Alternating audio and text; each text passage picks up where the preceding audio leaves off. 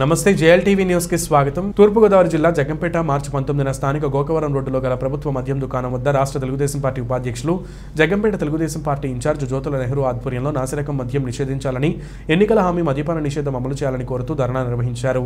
ఈ సందర్భంగా జ్యోతుల నెహ్రూ మాట్లాడుతూ రాష్ట్ర పరిస్థితులు ముప్పై సంవత్సరాల వెనక్కి వెళ్ళిందని మహిళలకు ఎన్నికలకు ముందు మద్యాన్ని నిషేధిస్తామని నాటుసారాన్ని రూపమాపుతామని మాయమాటలు చెప్పిన జగన్మోహన్ రెడ్డి అధికారంలోకి వచ్చాక మొదటి సంతకంగా మద్య నిషేధం చేస్తారనుకుంటే మాట తప్పుతూ జయబ్రాండ్ మద్యం అమ్మడమే కాకుండా ప్రజల ప్రాణాలతో చెలగాటమాడుతున్నారని విమర్శించారు. పూర్తి మద్యపాన నిషేధాన్ని వెంటనే! పూర్తి మద్యపాన నిషేధాన్ని వెంటనే! పూర్తి మద్యపాన నిషేధాన్ని వెంటనే! పూర్తి మద్యపాన నిషేధాన్ని వెంటనే! ఏ బ్రాండ్లను వెంటనే మద్యపాన నిషేధాన్ని? పూర్తి మద్యపాన నిషేధాన్ని? సారా సీఎం! సారా సీఎం! సారా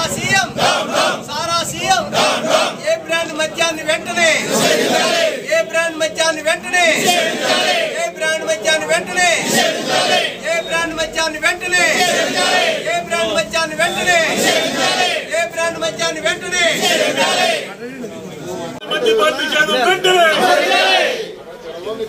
సారాసీఎం సారాసీఎం సారాసీఎం సారాసీఎం సారాసీఎం ఏ బ్రాండ్ మద్యాన్ని వెంటనే.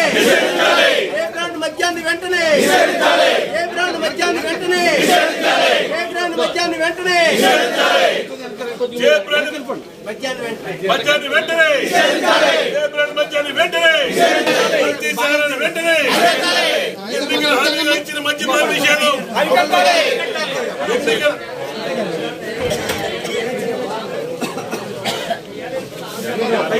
సంపూర్ణ మద్యపానాన్ని వెంటనే సంపూర్ణ మద్యపానాన్ని వెంటనే సంపూర్ణ మద్యపానాన్ని వెంటనే సంపూర్ణ మద్యపానాన్ని వెంటనే సంపూర్ణ మద్యపానాన్ని వెంటనే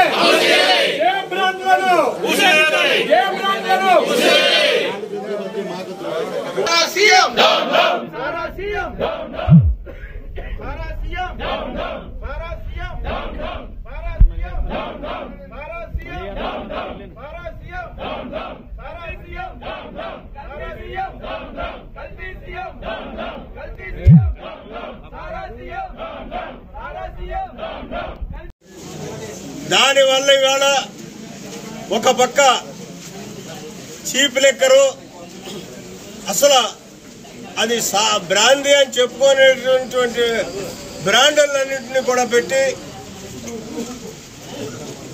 ప్రభుత్వ ప్రభుత్వ ఆఫీ ప్రభుత్వ దుకాణాల్లో అమ్ముతున్నటువంటి దీనివల్లే అనారోగ్యం పాలవుతున్నటువంటి పరిస్థితులుంటే మరి ఇల్లీగల్ లెక్కర్ సారా ఏదైతే తయారు చేస్తున్నారో దానివల్ల మరింత దారుణంగా ఆరోగ్యాలతో కోల్పోవడమే కాకుండా అక్కడక్కడ కల్తీ పెట్టినటువంటి ఇంకా కల్తీ ఆశ దురాచ పెరిగిపోయి దాన్ని ఇంకా కూడా పౌడర్లు ఇవి కలిపి ఇవాళ చేస్తున్నటువంటి కారణంగా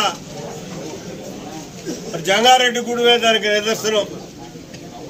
వారం రోజుల కాల పరిధిలో ఇరవై ఎనిమిది మంది చనిపోవడం జరిగింది. ఈ సారా వల్ల ప్రతి కుటుంబంలోని కూడా ఇవాళ గోలు గోలు ఏడుతూ చెప్తున్నారు. మా ఆయన సారా తాగాడు. ఆ సారా తాగి వచ్చిన తర్వాత విరోచనాలు వచ్చాయి వాంతులు వచ్చాయి కడుపు నొప్పి వచ్చింది. చనిపోయినటువంటి ప్రతి వ్యక్తి కూడా ఈ ఇరవై ఏడు మంది కూడా ఈ యొక్క విధానంతో చనిపోయినటువంటి పరిస్థితులు ఉన్నాయి. చెల్లి తల్లి అని ఎంత ప్రేమగా నువ్వు పలకరిస్తావో ఆ చెల్లి తల్లి ఇవాళ హలో రామచంద్ర అని చెప్పిన భర్తను కోల్పోయినటువంటి చెల్లి తల్లులు అక్కడ ఘోషిస్తున్నటువంటి పరిస్థితులు ఉన్నాయి. కానీ నిస్సిగ్గుగా ఒక దేవాలయం లాంటి శాసనసభలో సాక్షాత్తు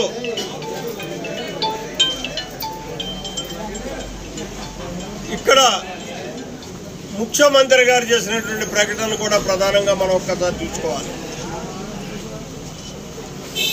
సహజ మరణాలు ఏ నీలో త్రికరణ శుద్ధిగా నువ్వు మద్యపాన నిషేధాన్ని అమలు చేయాలంటే వాళ్ళది ఒక ఉదాహరణ. నువ్వు ఎగదొప్పడానికి చేసేటటువంటి కార్యక్రమాలు. ఇంకా గత తెలుగుదేశం ప్రభుత్వంలో ఇవాళ గర్వంగా చెప్పగలం. షాపులు ఎక్కువ ఉన్నాయంటున్నావు. ఆ రోజు వచ్చే ఆదాయం అంత రాష్ట్ర ప్రభుత్వానికి. ఆరు వేల కోట్ల రూపాయల సంవత్సరానికి.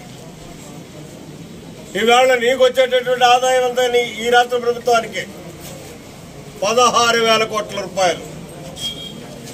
అంటే తగ్గిందా పెరిగిందా? నాకు అర్థం కావటంలే. మొన్నటి దాకా సారా పెంచాను. రేట్లు పెంచాం. తాకుండా ఉండడం కోసం వాళ్ళకి అందుబాటులోకి రాకుండా ఉండడం కోసం అని చెప్పి కథలు చెప్పాం మళ్ళీ ఇవాళ ఇంకా ఎక్కువ అమ్మకాలు అమ్మాలి కాబట్టి తగ్గిస్తున్నాను అని చెప్పేసి అని మళ్ళీ చెప్తున్నాం.